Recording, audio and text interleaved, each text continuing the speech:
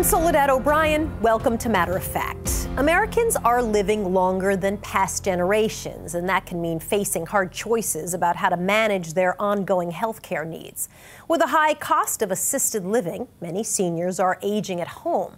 They're relying on home care workers for much needed help with day to day life. But there's a severe staffing shortage. Industry experts say that nearly 1 million new caregivers are needed to meet the current demand. Low wages, few, if any, benefits, and no paid time off make recruiting and retaining workers difficult. Home care jobs pay a median rate of $14 an hour, and North Carolina ranks near the bottom when it comes to support for home care workers. Our correspondent, Dan Lieberman, traveled to the state to hear from clients and caregivers firsthand. She's my lifesaver. I'm serious. 80 year old Sally Hawk has a special bond with Joan Kester, who's been her home health care aide for the last seven years. I've had two major operations on my back, three on my neck, and one on my hand, one on my arm. It's really tough.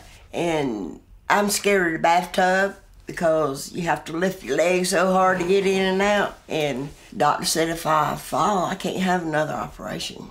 Sally suffered a debilitating back injury in 2016. With no family nearby to care for her, she was paired with Joan through a local home care agency.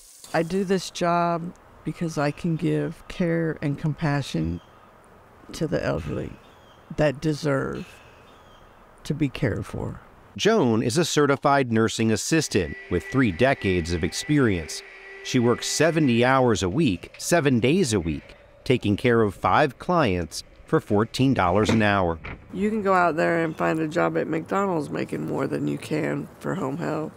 Home care workers are in short supply here in Wilmington, North Carolina, where, like so much of the country, a tight labor market and increasingly high cost of living is making it hard to attract workers. Do you ever think about other jobs that might be easier, that might pay more? I know they're out there. I see it. That's not for me. This is my calling. So we're on tons of different job boards. At Bayada Home Health Care Agency, looking for staff is a full time job for Director Matthew Hannigan. With a staff of 100, he needs twice as many workers. Almost every day, somebody either goes without care or their schedule is affected. Why is it so hard to find people to do this job? It's a hard job. That's the thing. We sort of live and die, I guess, by our reimbursement rates that we get back. He's talking about Medicaid reimbursement rates set by each state and paid for with a mix of federal and state dollars. That rate determines what agencies can pay workers by the hour. How do you get by? I cut back on going places other than work. I cut back with my food, going shopping. I don't go shopping because I can't afford to. These workers, they can't afford their own life, yet they're being asked to do this very difficult job. So, what needs to change?